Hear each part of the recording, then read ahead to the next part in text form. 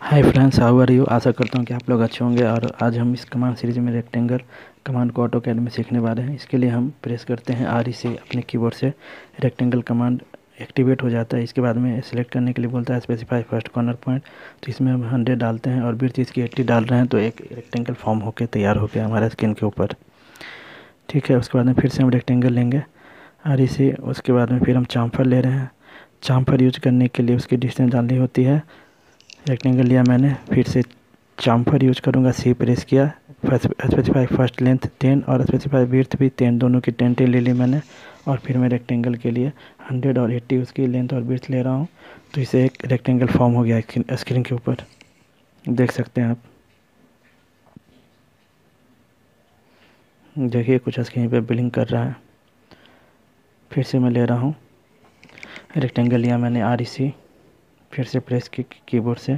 उसके बाद में फिर मैं ले रहा हूँ चाम्फर सी उसके बाद में फ़र्स्ट लेंथ मैंने डाली टेन सेकंड लेंथ भी मैंने डाली टेन उसके बाद में फ़र्स्ट कॉर्नर पॉइंट लिया मैंने हंड्रेड सेकंड कॉर्नर पॉइंट ली मैंने बिर्थ एट्टी तो एक रेक्टेंगल बना जिसमें कि चारों पॉइंट पे चाम्फर लगा हुआ है टेन बाई टेन का। लेंथ भी इसकी टेन हो गई बिर्थ भी इसकी टेन हो गई। चलिए फिर से मैं रेक्टेंगल कमांड लेता हूँ और इस बार हम फिलेट कमांड को देखेंगे। इसको करने के लिए रेक्टेंगल प्रेस करने के बाद में एफ़ प्रेस करेंगे और फ्लेट रेडियस ए पूछेगा तो यहाँ पे मैं एग्जांपल के लिए फ्लेट रेडियस टेन ले रहा हूँ। उसके बाद में फिर दोनों स्पेसिफाई पॉइंट बोलेगा तो दोनों स्पेसिफाई पॉइंट में हंड्रेड बाई एटी ले रहा हूँ तो इससे एक फिलेट वाली रेडियस बन जाएगी यहाँ पर जिसके चारों कॉर्नर फिलेट होगी और उसका रेडियस होगा टेन एम ठीक है, यहाँ पे हो गया। उसके बाद में थिकनेस से एक रेक्टेंगल बनता है। बेसिकली आपको थ्री डी में इसकी थिकनेस देखने को मिलेगी। बट मैं स्क्रीन पे टू डी पे ही इसे बना रहा हूँ। ये फिर से चाम्फर वाला रेक्टेंगल बन रहा है तो चाम्फर या फिर फिलेट वाले रेक्टेंगल को फिर से पहले जैसा रेक्टेंगल बनाने के लिए सिंपल वाला रेक्टेंगल लेने के लिए फिलेट वैल्यू को ज़ीरो ज़ीरो करना होता है। तो रेक्टेंगल करने के बाद में फिर फिलेट वैल्यू को हम ज़ीरो प्रेस करेंगे तो फिर से हमारी पहले जैसी रेक्टेंगल बनेगी नॉर्मल ये देखिए, फिर से पहले जैसी रेक्टेंगल बन रही है। ओके तो फिर से हम लेते हैं रेक्टेंगल कमांड रेक्टेंगल कमांड लेने के बाद में हम थिकनेस वाले ऑप्शन में जाते हैं टी इंटर करेंगे। वहाँ पे मैं कुछ भी थिकनेस डाल सकता हूँ। सपोज़ मैंने फाइव ले ली तो एक थिकनेस वाली रेक्टेंगल बन रही है आपके स्क्रीन के ऊपर। इसे आप थ्री डी में देखेंगे तो इसमें आपकी थिकनेस भी दिखाई देगा। और इसके बाद में बिर्थ बिर्थ कमान से मैंने इसकी रेक्टेंगल बनाई है सिक्स एम एम की। इसके लिए बिर्थ आपको सिक्स एम एम सेलेक्ट करके ए रेक्टेंगल बनाई है मैंने हंड्रेड बाई एट्टी की। इस तरह से रेक्टेंगल बनी है बिर्थ कमांड के ऊपर।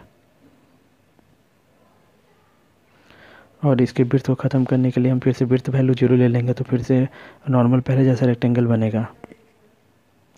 अब फिर से रेक्टेंगल में एरिया डायमेंशन और रोटेशन से तीन कमांड से भी रेक्टेंगल बनते हैं, उसे मैं देख रहा हूँ फिर से। उसे हम देखेंगे, अभी फिर से रेक्टेंगल लेंगे रेक्टेंगल लूँगा मैं फिर से।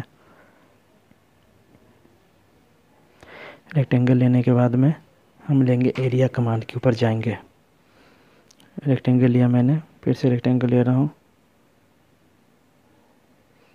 शो नहीं कर रहा है, शायद फिर से लेना पड़ेगा तो फिर एरिया डायमेंशन और रोटेशन का ऑप्शन शो करता है रेक्टेंगल में।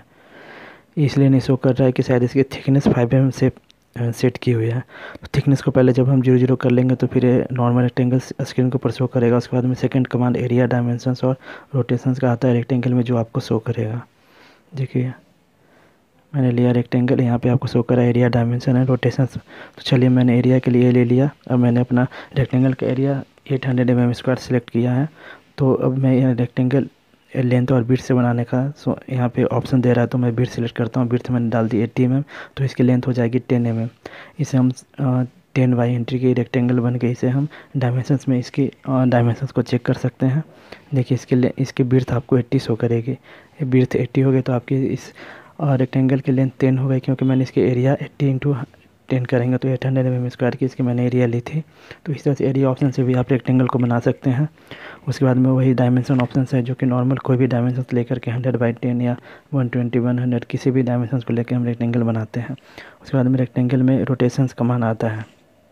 किस एंगल के ऊपर आपको रोटेट करते हुए अपनी रेक्टेंगल को बनाना है, उसके लिए रेक्टेंगल लेंगे हम। रेक्टेंगल कमांड में जाने के बाद में हम रोटेशन एंगल लेंगे। रोटेशन एंगल आप कुछ भी डाल सकते हैं थर्टी सिक्सटी नाइन्टी जो भी आपकी वैल्यू होगी वो डाल देंगे। और उसके बाद में आप अपना वैल्यू लेंगे रेक्टेंगल की लेंथ विर्थ क्या है, आपको रखनी है हंड्रेड रखनी है एट्टी रखनी है, कुछ भी आप यहाँ पे सिलेक्ट करके बना सकते हैं। जैसे मैंने एक ऐसे ही नॉर्मल वैल्यू में एक रेक्टेंगल बना ली है, उसकी मैं रोटेशन एंगल चेक कर रहा हूँ। इसके लिए डायमेंशन टैब में जा करके एंगुलर पे क्लिक करेंगे और इसकी एंगल फाइंड आउट हो जाएगी। इसके लिए सबसे पहले हम एक लाइन ड्रा करते हैं नीचे में बेस पॉइंट में।